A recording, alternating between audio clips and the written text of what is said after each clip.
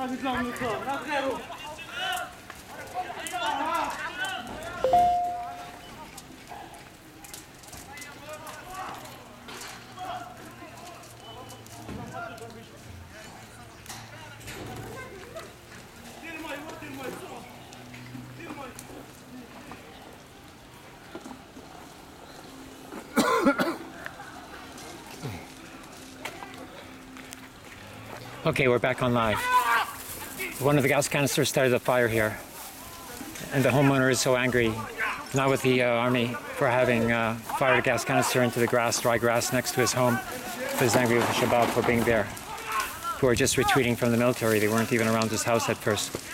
But the fire continues, and it's closer to his home now than before.